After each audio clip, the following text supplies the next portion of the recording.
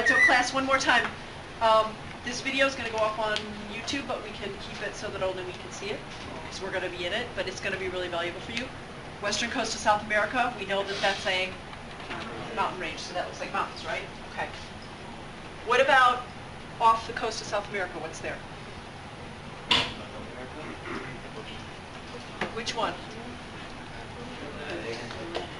Off the western coast of South America. Which ocean? Pacific Ocean, okay. And then we get way, way, way, way, way, way, way, way, way, way, way over here. We're still in the ocean, but even though we're still in the ocean, there are actually some islands over here. And these are the islands, and these islands are little volcanoes. So we don't want them to be quite as high as our Andes mountain range, but we want this to be another little mountain range. So we're going to have to tape this down again. Want to stick a piece of tape there? And let's just make, let's make this a smaller, lower mountain. Like maybe that, okay?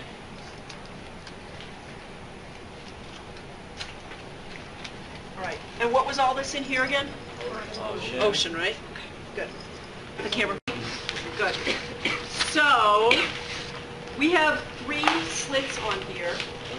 We have this thing called slit A, that one called slit B, and that one called slit C. If you flip over to page 64, you'll see there are some questions there. And I think what I want to do is I want to run through this one time, and then we'll come back and we'll talk about the questions and see if we need to run through it again, okay? Is everybody all right with that? Yeah. So we're thinking about convection, right?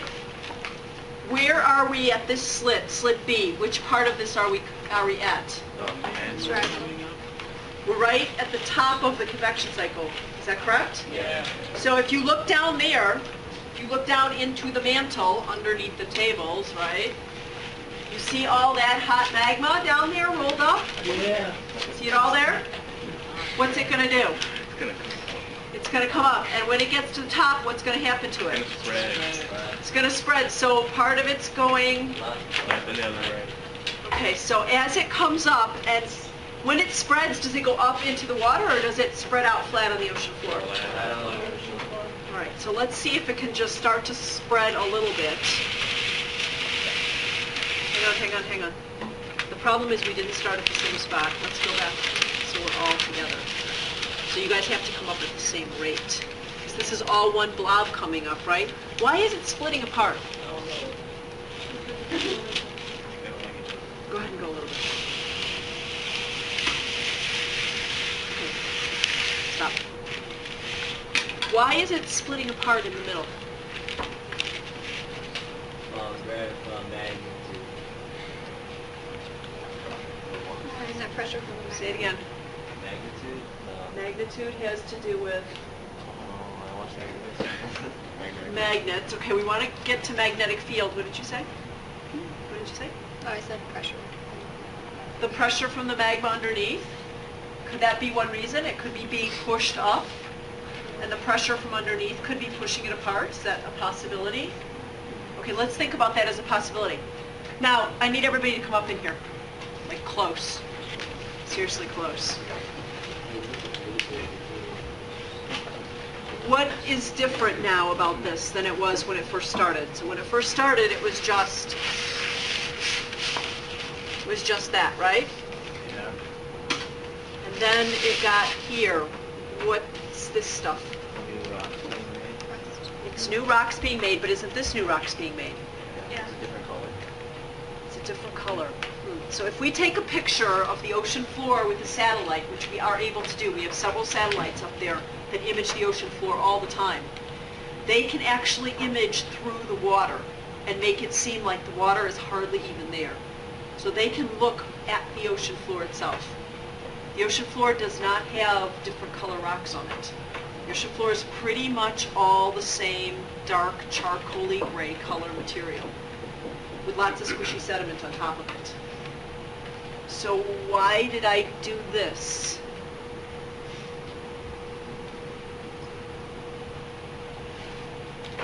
No one person knows because we talked about it this morning.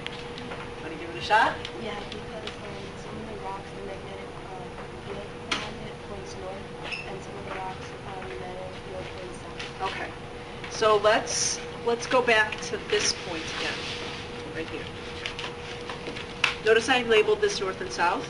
South America is to the east, and Australia, India, all of that is to the west.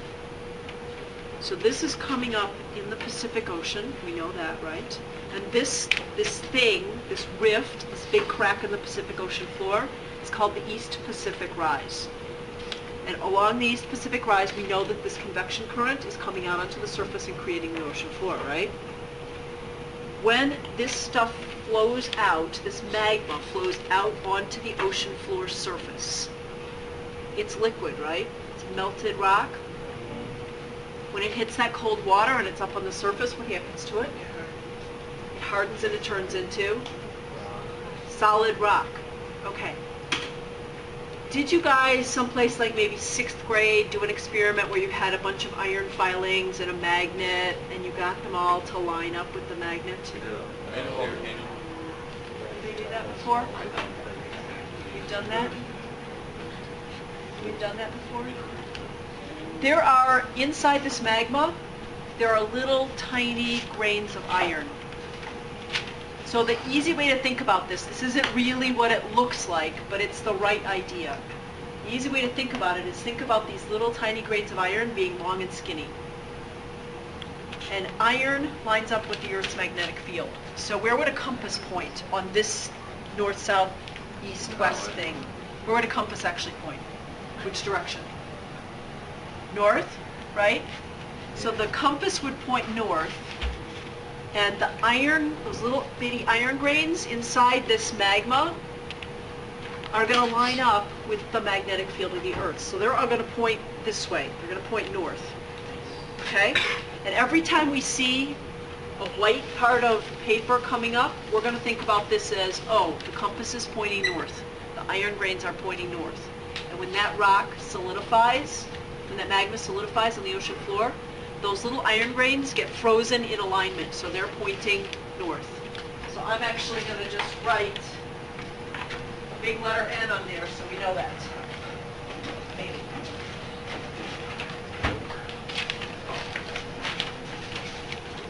So here we are. That's the way the iron grains are pointing, okay?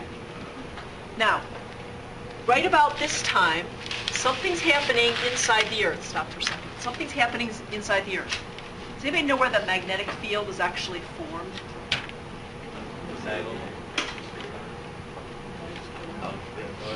Who said Earth's core? Earth's core. We, we can see it in outer space. We can see the effects of it in outer space. But the Earth's magnetic field is actually generated inside the Earth's core. So there's a lot of metal in there, iron and nickel and sulfur inside the Earth's core, and it's all molten, and it's flowing around. And do you remember from physics about electricity? Yeah.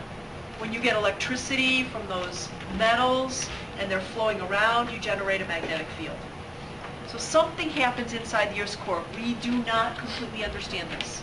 If you think this is really cool stuff, go get your PhD in geology. You can work on understanding this better because we need some people to work on it.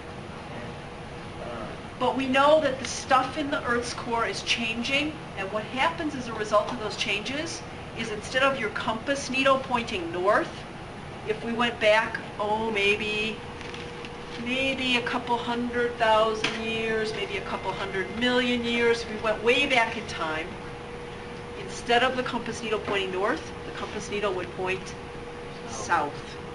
The Earth's magnetic field flip-flops. But it doesn't flip-flop like, okay, every million years it's going to flip-flop.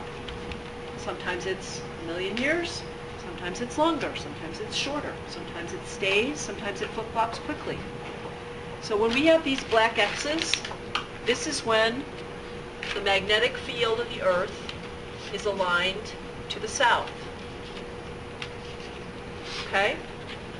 So the rocks there look the same. It's just if you take something that senses magnetism and you get the data, it's going to show that they're reversed. Okay, so time keeps going on, and what happens? So you guys need to pull equally. Uh-oh, what happened again? Did it flip-flop again? Yeah. And it's pointing north again. Okay, keep going. What happened? And now what happens? Keep going. north, south. Oh, look at this. Way wider, really skinny. So if the rate that they're pulling is about the same all the time, then that's a longer period of time and that's a shorter period of time. Does that make sense? Okay, now, we've got a little problem. Because we got over here near the coastline of South America and we got over here by these other volcanoes, these mountains. So where are we in our cycle? Here we are going like this. When we get over here to A or C, we're to this point. We're to the down-going limb. So what should happen there? Somebody fix it so it does what it's supposed to do.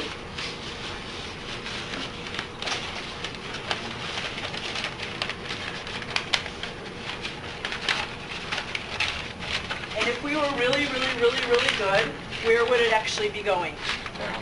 So we would have the cracks in the tables under here, and it would actually go back down into the, into the what down there? The what? The mantle, right? Okay. So what happens as this continues to spread?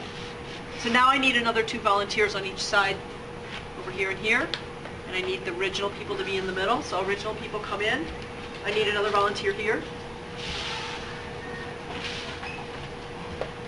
Thank you. I need another one over there.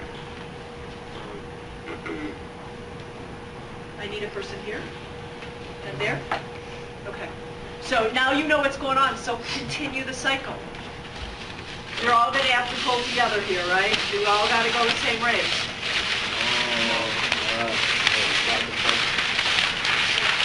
Oh, wait, you gotta, you gotta press it.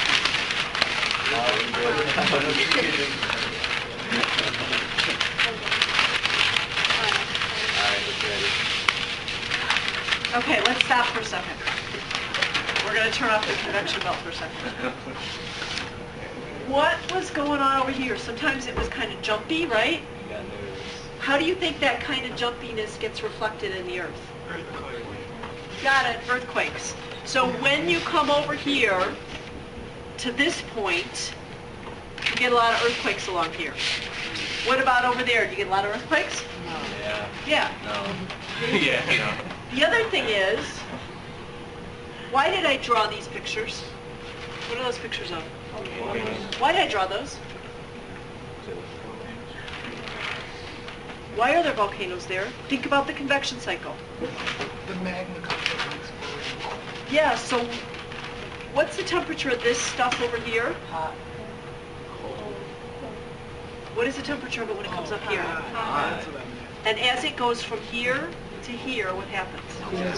So over here, is it warmer than here? And over here, is it warmer than here? Yeah. And here and here, are they about the same temperature?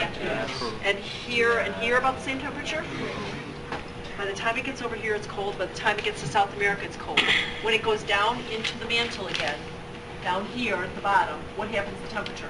It gets hot again. Remember when we did our convection lab, when you put that blob of corn syrup in there and it got hot and then it started to pull up to the top? Why did it rise up? Heat rises. Heat rises. So when it gets hot, it starts to rise up. And when it rises up, what does it make? Volcanoes. That's why we've got volcanoes here. We've got volcanoes over there. Let's think about the direction the plates are moving. Hang on to that one. So here, this is a plate boundary, right? Because we have new ocean floor being made here. This plate over here is a different plate from this plate over here. This plate here, we've got that kind of motion, right? Coming up, splitting apart. This has, this boundary has a name. Starts with a D. Anybody know what it is? Divergent. Divergent. So now we can put some more names on our convection cycle. Here's our convection cycle. Heat is rising. At the top where it comes to the seafloor and it splits apart, that's a divergent plate boundary. The new ocean floor crust continues to get cooler and cooler as it moves away from the divergent plate boundary.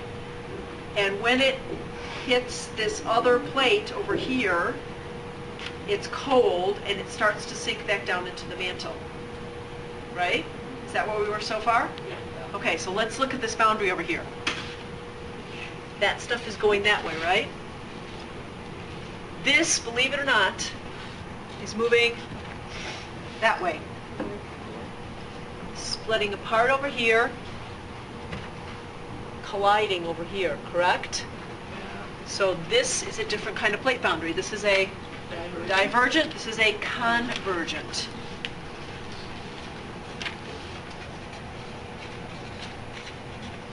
Convergent, collide, divergent. Did you ever hear anybody in their conversation say, oh, but I diverge? Meaning they went away from the topic? Yeah. This is away from. Convergent, they're colliding together. Can we add some more to our convection cycle? So what's going on here? What's happening here? Talk me through this. Hot, right? Okay, and here? And what happens to the plate as it spreads apart? Cools. And what happens over here? And then it? Sinks. And then someplace over here, sometimes it earthquakes and volcanoes. Good. One other thing we need to do.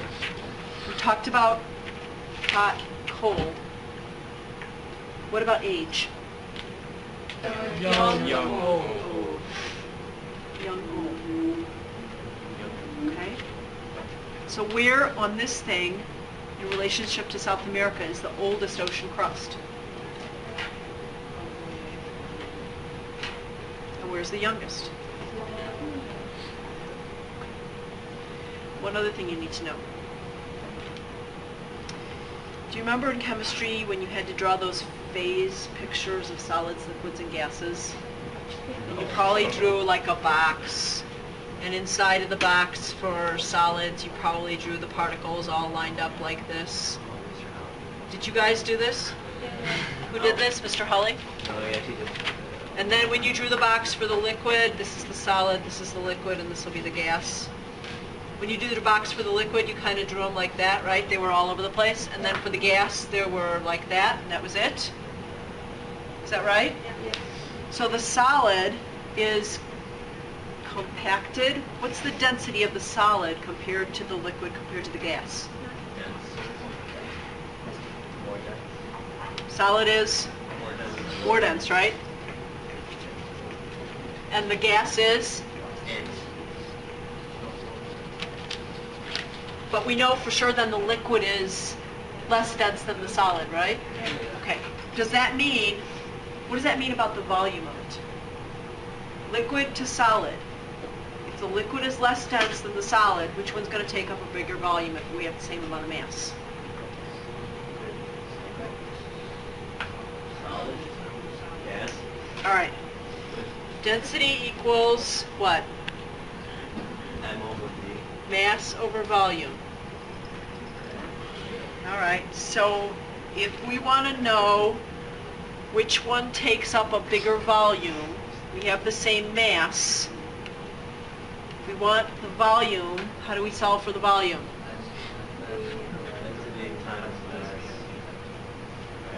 So what do we do with density? If the density of the material is, when it's liquid, is lower, the mass is the same, what happens to the volume?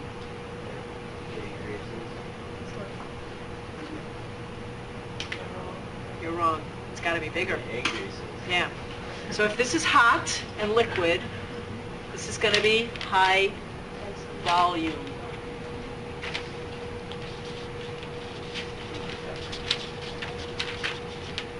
And this is going to be low volume.